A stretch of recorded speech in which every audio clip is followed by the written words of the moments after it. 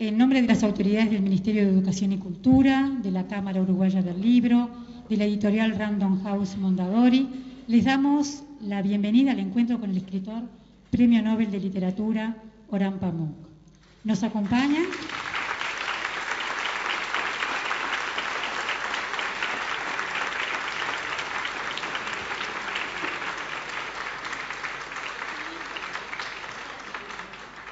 Bienvenido.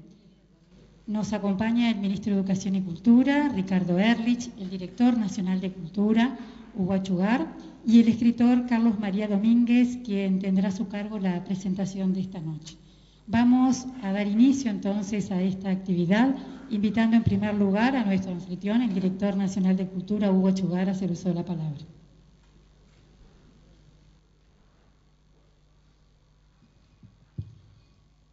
Buenas noches. Este, señor ministro, señor embajador, eh, Mr. Pamuk, amigos y amigas, es un placer y un honor eh, recibir a Omar Pamuk en, este, en esta casa de la Dirección Nacional de Cultura.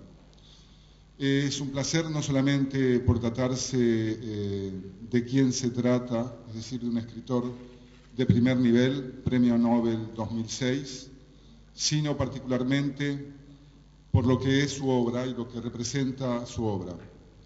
Yo no voy a dar un discurso, simplemente se supone que doy la bienvenida, pero no puedo evitar hacer algunas pequeñas eh, referencias. Uno de los últimos libros del señor Pamuk el novelista ingenuo y el sentimental pone de algún modo en, la duda quién es Pamuk, si un novelista ingenuo o un novelista sentimental o ambas cosas. Yo creo que Pamuk es mucho más que eso. Y creo que resume muy bien quién es Pamuk, lo que es su escritura, lo que son sus novelas, las declaraciones donde dice, abrazar el pasado es una cuestión de libertad de expresión, porque no se trata solo de recordar, sino de hablar de cómo recordar. La memoria no debe ser manipulada, hay que ser libre para recordar.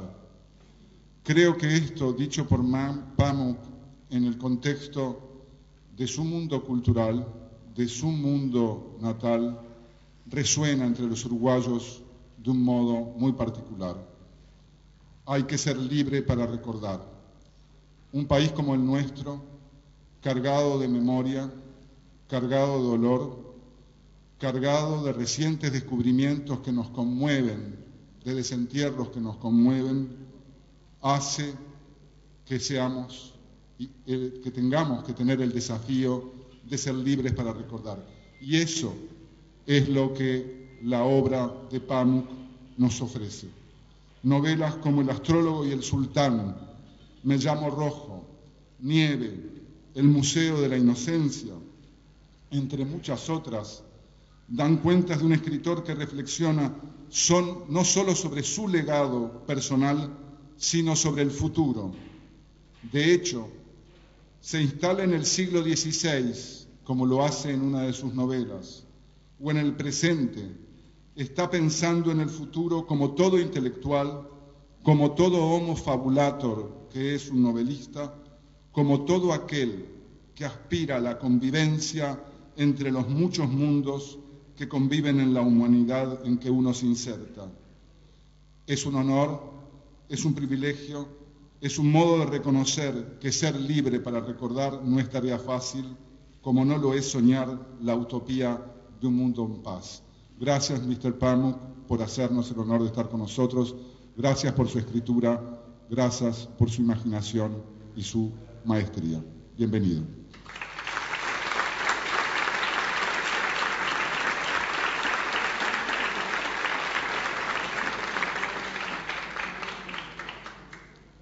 Invitamos ahora a la presidenta de la Cámara Uruguaya del Libro, Alicia Guglielmo, quien hará entrega del reconocimiento legionario del libro como, como homenaje a su visita a nuestro país.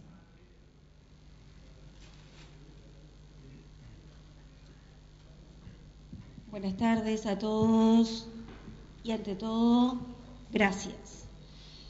Gracias por permitirnos tenerlo cerca, señor Pamuk. Gracias a los que disfrutamos de sus libros y lo imaginábamos tan lejos en ese Estambul. La Cámara Uruguaya del Libro quiere entregarle en este momento una legión. Nosotros tenemos una legión del libro que muchos de los aquí presentes integran, que la noche de mañana entregaremos a nuevos legionarios. Nos parecía un honor para todos los actuales integrantes de esta legión que conforman aquellos que a través de su escritura, a través de sus artículos, a través de sus investigaciones periodísticas, hacen que el libro y la lectura lleguen a más gente, difundan más ideas. Es en ese sentido entonces que la Cámara quiere agradecerle, entregándole esta medalla al señor Pamuk, que esté aquí, y queremos agradecerle además, no solo por la maestría con la cual escribe, como decía nuestro director de cultura, sino también por la valentía con la cual defiende los derechos no de él, de otros, como de los turcos. Muchísimas gracias, muchas gracias por estar aquí y bienvenido de nuevo a nuestro país.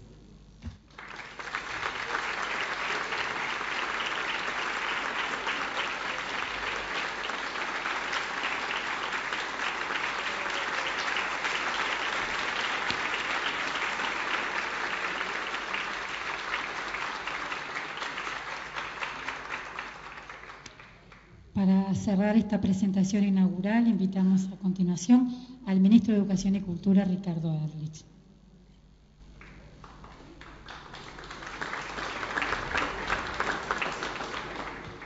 Buenas tardes a todos, a todas. Quisiera eh, transmitir en esta ocasión el, el saludo del Gobierno Nacional y muy particularmente del Presidente de la República a nuestro distinguido visitante. Es un gran honor su presencia en nuestro medio, tiene una gran significación en un país que busca construirse sobre la cultura, sobre los espacios de la cultura. La presencia de Orán eh, Pamuk en Uruguay es eh, un enorme estímulo para todos nosotros. queremos reconocer no solo en él su trayectoria literaria, sino el coraje de su voz, el coraje de su voz en múltiples ocasiones, eh, defendiendo los derechos de pueblos oprimidos. Por todo eso, señor Pamuk, reciba el saludo entonces del Gobierno Nacional y del señor Presidente de la República y nuestro enorme beneplácito por su presencia aquí. Finalmente, queremos hacer la entrega de un recuerdo en nombre de nuestro Gobierno, que es una obra de un, del artista nacional Octavio Podestá. Muchas gracias.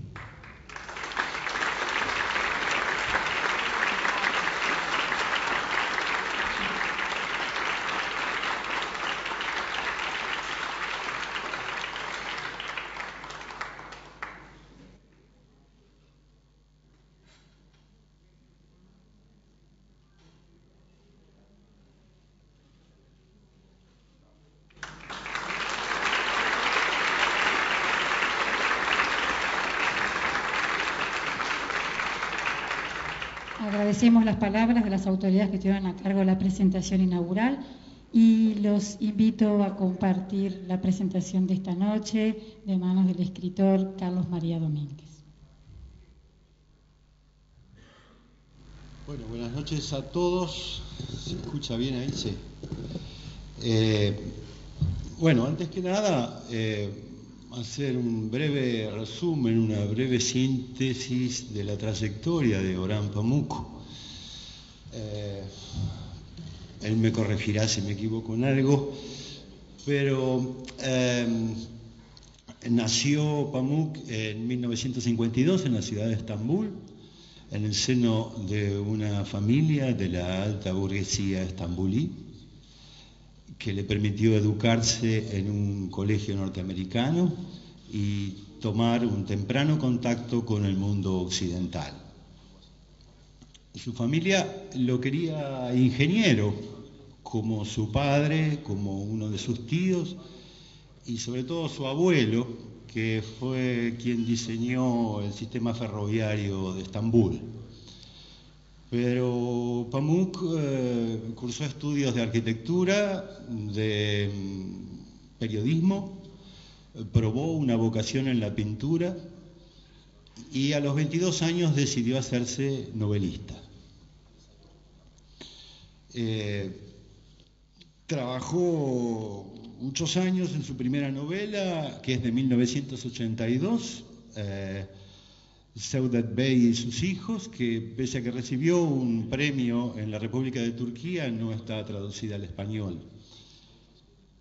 Luego vinieron eh, en el 83 La Casa del Silencio, una novela eh, que celebró John Updike, El Castillo Blanco, luego El Libro Negro, La Vida Nueva, mm, una novela polifónica, diría Mijail Bastín, como Me llamo Rojo, eh, su novela más política en el 2001, Nieve, el Museo de la Inocencia en el 2008, y luego un magnífico libro de memorias eh, que se llama Estambul, Ciudad y Recuerdos, ensayos como Otros Colores, La maleta de mi padre, El novelista ingenuo y, El sentimental es su último eh, libro que recoge seis conferencias en la Universidad de Harvard dictadas en el 2009.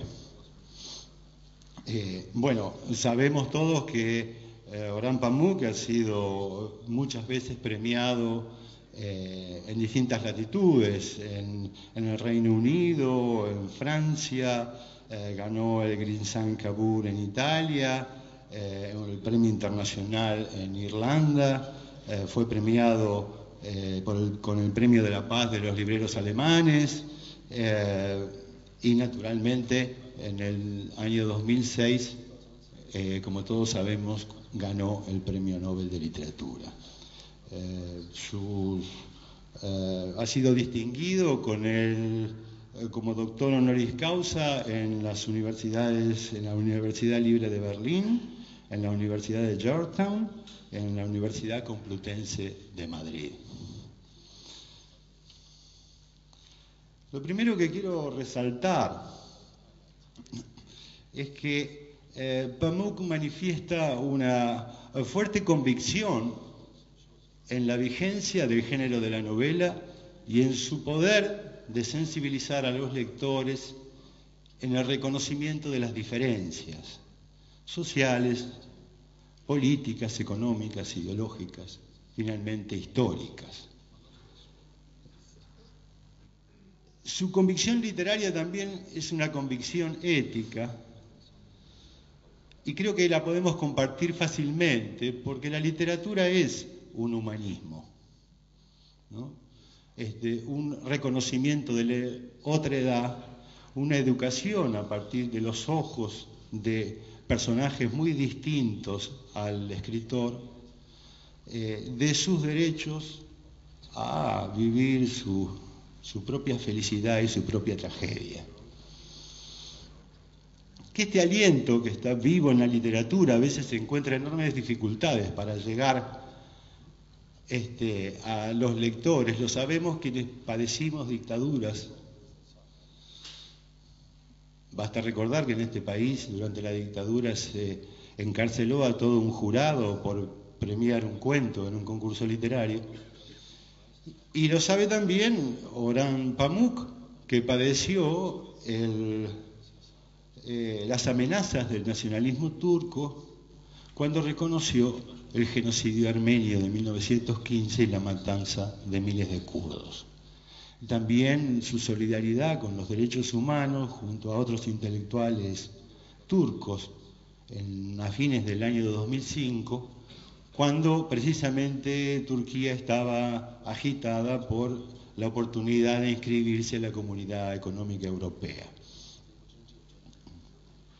Su novela de mayor eh, perfil político es Nieve, ¿no? Indaga en la confrontación entre eh, el pensamiento religioso y el pensamiento laico en un pequeño pueblo aislado eh, cerca de la frontera con Armenia.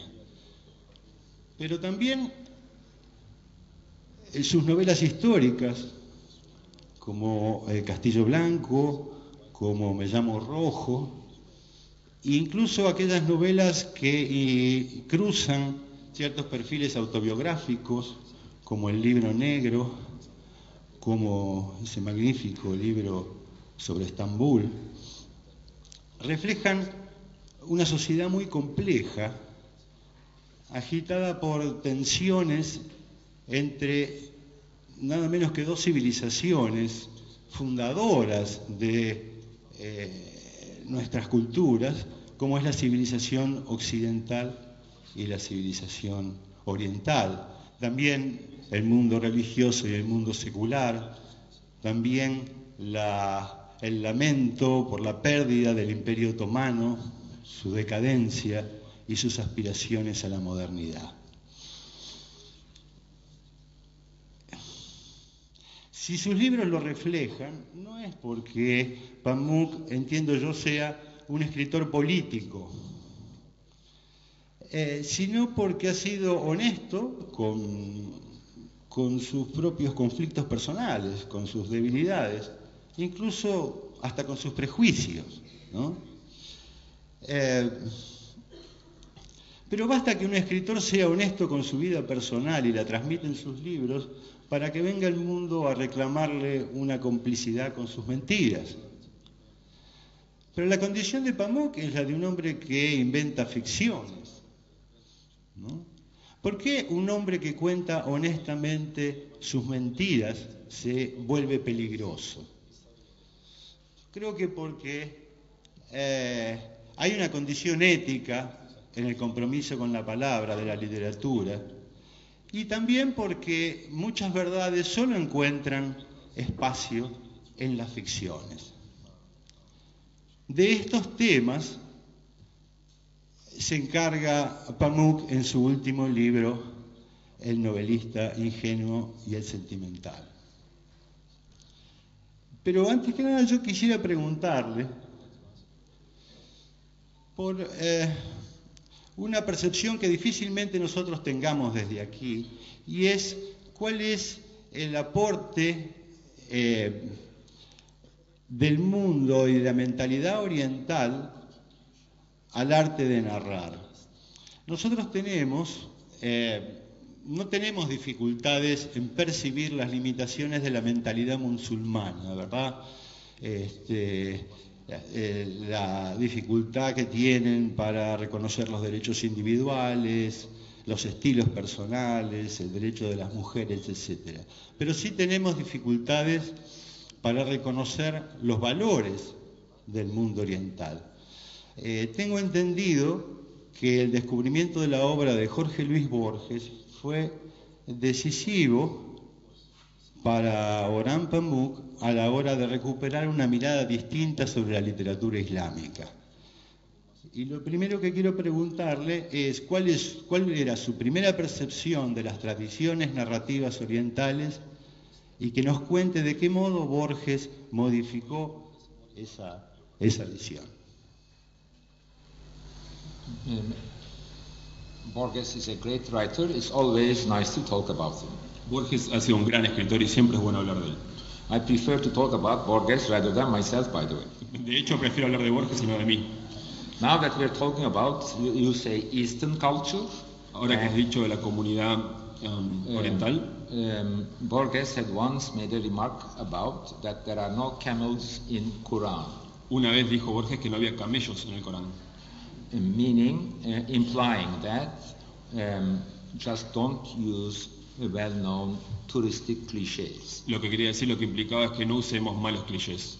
Um, when you're, if you're a writer in Paris, don't talk about Tour Eiffel. Si, si sos un escritor en París, no hables de la Torre Eiffel. Actually, it was Guy de Maupassant who said the best view of Paris is from Tour Eiffel. De hecho, fue Montpassant el que dijo que la mejor vista de París es desde la Torre Eiffel. Because from Tour Eiffel you don't see Tour Eiffel. Porque desde la Torre Eiffel no se ve la Torre Eiffel. Now that you ask so much about cultural um, identity, Ahora- I, I am a bit afraid. Ahora que estamos hablando tanto de la identidad cultural, tendría miedo. Um, and framed as such, I would, whatever I say, it will be me talking about Tour Eiffel of, Islamic world. Porque ahora todo lo que diga va a ser sobre la Torre Eiffel o interpretado sobre el mundo islámico. Also, um, let me remind you that concepts like Islamic mind um, are too broad, crude generalizations. También debo decir que conceptos como la mentalidad islámica son generalizaciones demasiado grandes. Um, we never think we, um, um, that these distinctions are abstract. Estas distinciones son abstractas. I never taught in uh, Istanbul uh, what is the Christian mind and what is um, there is no such thing. En Estambul nunca enseñé sobre qué es la mentalidad cristiana, no hay cosas así. We are all individuals, and literature addresses individuality. Todos somos individuos y la literatura se refiere a las individualidades. Um, um, it's so hard to make a judgment about one's um, religion, culture in one statement, in one single sitting. Es muy difícil hacer referencia sobre una religión en una sola frase, en un solo discurso. But let me try to do my best. Pero voy a tratar de hacer lo mejor posible. All non-Western cultures had problems coming to terms with modernity. Todas las culturas orientales han tenido algunos problemas en reconciliarse con la modernidad. I've been traveling all over the world in the last six, seven years. Everyone wants modernity. Everyone wants to keep his identity, past traditions. He estado viajando por el mundo en los últimos 6-7 años y todo el mundo quiere modernidad y todo el mundo quiere conservar las tradiciones pasadas. When I go to Korea, I go to China, I go to Japan, I go to, well, Canada, even, even Latin, um, oh, no, we forget about um, Scandinavia, everyone is telling me this. A todos los lugares que he ido, desde Corea, China, Japón o Canadá, todo el mundo me dice lo mismo. We have a great culture. Unfortunately, no one knows it. We love our culture, but we also want to be modern. Todos dicen que quieren ser modernos, pero todos aprecian su propia cultura y nadie la quiere perder. Um, um, the general desire is, the global desire is both to embrace the culture, tradition, the past, and be modern. El deseo general, el deseo mundial de todo el mundo es conservar las tradiciones y a la vez abrazar la modernidad. which is the hardest thing to do, of course, and because it's a contradictory th- thing. Que por supuesto es lo más difícil de hacer porque es una contradicción en sí mismo. Being modern is partly forgetting about, is partly forgetting your past. Ser moderno implica en parte olvidarse del pasado. Embracing your culture is partly um, refusing modernity. Abrazarse a nuestro pasado es en parte rechazar la modernidad. But, but these contradictions are not unsolvable. You can harmoniously bring together your past culture and modernity together. Pero estas contradicciones no son insalvables. De alguna manera se puede encontrar la armonía entre mantener una y abrazar la modernidad. Turkish culture is part of Islamic civilization, but also um, Turks for the last 200 years wants to be modern and European. Am, Turquía pertenece en parte al mundo islámico, pero a la vez de los últimos 200 años también pertenece a Europa. Now here is a generalization. Don't think every Turk wants to be European, Por supuesto que esto es una generalización, no piensen que todos los turcos quieren ser europeos. or half of the nation wants to be European, half of the nation wants to be more Islamic, and they fight with each other. O que la mitad de la población quiere ser europea y la mitad de la población quiere permanecer eh, islámica y combaten entre ellos. No, we have these clashes, but most of the clash is in the human heart. Tenemos este tipo de enfrentamientos, pero la mayoría de ellos son a nivel del corazón. That is, um, it's, um, it's, the, it's not the half of the country are good guys, half of the country are bad guys. The same, these sentiments are we share in our hearts. No es que la mitad del país esté, haya gente mala y la otra mitad sea de gente buena, sino que estos sentimientos encontrados están en nuestros corazones. ¿Cómo eh, fue que Borges modificó esa visión del mundo islámico? Borges um, um, did not change Islamic world or my perception of Islamic world because he didn't write too much about Islamic world. But Borges no escribió tanto del mundo islámico, o sea que no cambió mi personalidad, mi percepción del mundo islámico. But he taught me something about um, literary, what I would say, literary metaphysics. Pero me enseñó algunas cosas sobre metafísica literaria. Um, try, um, seeing literary texts um, um, um, truly in metaphysical literary way. apreciando los textos desde un punto de vista metafísico. Borges had in ways taught me to look at the classical Islamic literatures in a more literary way rather than religious way. Borges me hizo ver las obras clásicas islámicas desde un punto de vista más literario y no religioso. Um, um, by the influence of Borges, for example, um, I begin to um, read classical Islamic texts and really use them in my books, such as Black Book, My Name is Red, Istam- um, Istanbul. A través de Borges volví a releer los clásicos islámicos y me sirvieron de aporte para libros como El libro negro o Snow o Me llamo rojo. Eh, hablando sobre, de temas que tienen que ver con eh, la estructura de la novela. Eh, recuerdo que la novelista norteamericana Flannery O'Connor, sureña, católica, eh, reflexiona sobre la deuda de la ficción con el cristianismo, sobre la idea de que el novelista siempre está eh, delante de un misterio encarnado en la historia, como el misterio del Hijo de Dios. Lo cual, naturalmente, es eh, comprensiblemente una herejía para el mundo judío y para el mundo musulmán. Ahora, desde el punto de vista literario, me gustaría preguntarle cómo percibe Pamuk que opera sobre la imaginación un Dios que no encarna en la historia, que se revela a partir de la palabra del profeta. My religion is literature. Mi religión es la literatura. Um, uh, God is in the mosque. Gods are in the mosque.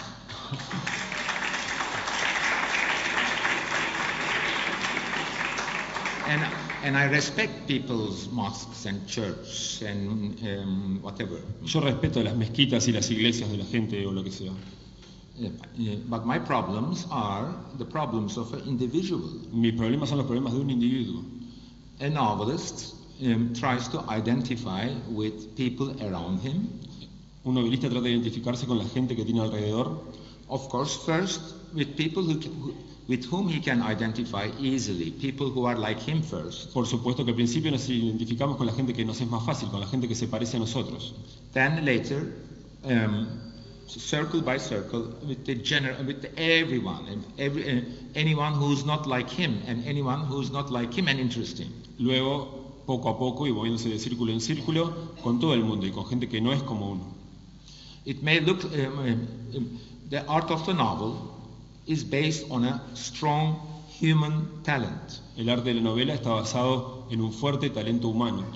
Um, that is, we have the power to feel the pain of others in our heart. Lo que We- implica decir que tenemos la capacidad de sentir el dolor de otros en nuestro corazón. We feel, we, uh, we sense other people's jealousies, angers, frustrations, um, happiness, uh, unhappiness. We understand. Sentimos y percibimos y entendemos la furia, la amargura, la frustración en otras personas. Not only we understand, or, uh, or what is understanding? Um, um, trying to see through our imagination, by our imagination, what other people may be seeing, feeling, sensing. No solamente los entendemos, sino que podemos utilizar nuestra imaginación para ver lo que otras personas están sintiendo, lo que están sufriendo. Um, This is the task of the novelist. Esta es la tarea del novelista. You don't have to be, a, uh, you don't have to have political, strong political opinions. Y para hacer eso no se precisan opiniones políticas demasiado fuertes. Uh, and because of uh, because of the popularity of my books, they are translated to many languages. I have found myself in political trouble. Debido a la fama que he adquirido por mis, por mis libros, he tenido ciertos problemas a nivel político. But my imagination is essentially not political. Pero mi imaginación es esencialmente no política. Um, my politics comes from the art of the novel. Mis políticas vienen del arte de la novela. Um, German playwright Bertolt Brecht once told that if they ask you your political opinions, don't show them your party card, but show them your books. Bertolt Brecht dijo que si te piden tu opinión sobre política, lo que tienes que hacer es mostrarles tus libros. A novelist um, shows his political commitment not with, the, with which party he votes for, but with his imagination. I will give examples now. El novelista muestra su compromiso político no a través del partido al que vota, sino a través de su imaginación y sus libros. Since I always believe that the task of the novelist is to identify with people who are not like us, I always want to write a first person singular book from a woman's point of view. Ya que, ya que siempre creí que la tarea del novelista es identificarse con personas que no son como uno, siempre quise escribir una novela en primera persona desde el punto de vista de una mujer. By definition, any writer, serious writer, who identifies and makes a female character um, um, um, the most important hero of a book is being political. Um, el- aquel escritor que puede identificarse con una persona, en, su- en una mujer en uno de sus libros, en ese momento está siendo político. Um, um, or um, I- um, trying to identify with someone who is not as lucky as you are, who are, O, o tratar de identificarse con alguien que no tuvo tanta suerte como nosotros. or, or someone who is working in copper mines or doing fishing in very hard conditions is also political. O alguien que está trabajando en una mina de cobre o trabajando en la pesca, eso también es político. You may be right winger, you may be conservative, you may be Marxist, you may be this, you may be social democrat, but no, novelist's politics comes from identification and seeing the problems of others. Se, fue- se puede ser marxista, social- ah, socialista, conservador, pero identificarse con otros, esa es la parte de la novela. These are the things I discuss in my naive and sentimental um, no- new books, naive and sentimental novels. Estos son algunos aspectos de lo que yo discuto en mi último libro, El novelista ingenuo y sentimental. Eh, allí, en ese libro, dice en algún momento que el- la moral para el novelista es un paisaje humano. Sin embargo, el tema de la moral siempre es como un lodazal, así está traducido, porque escritores y lectores eh, juzgan moralmente, inevitablemente, la conducta de los personajes. Eh, el tema había asomado en el libro negro, cuando unos escritores eh, estambulíes le preguntan a Celal si escribe con intención moralizadora o para divertir. Y Celal dice, escribo para divertir. Pero, ¿qué dice Pamuk? I may agree. I, I write for to entertain, but always find myself in political trouble. Yo escribo para entretener, pero siempre tengo problemas políticos. Uh, What about the writers who write for political purposes and only can entertain and cannot do anything else? ¿Y por qué los que escriben para razones políticas eh, no pueden entretener?